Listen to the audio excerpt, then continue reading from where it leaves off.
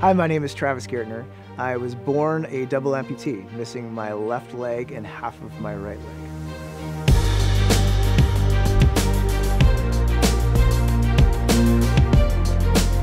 I'm a two-time Paralympic gold medalist in the sport of wheelchair basketball, and I did that in both the Sydney 2000 Paralympic Games and the Athens 2004 Paralympic Games. Gaertner came in the ball game and he's showing why he's one of the speediest players in international Paralympic basketball. It's all mental. There's always a way to do it. Uh, you just have to be willing to get creative, willing to get up and put the work in. My parents from the get-go had myself and my siblings involved in sport and other healthy activities to make sure we didn't have time for unhealthy activities.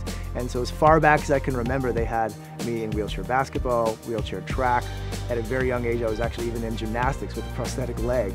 I wore a prosthetic leg on my left side for probably six to seven years and didn't want to wear it. A wheelchair was actually a lot faster, a lot easier for me to get around and gave me a much more free lifestyle.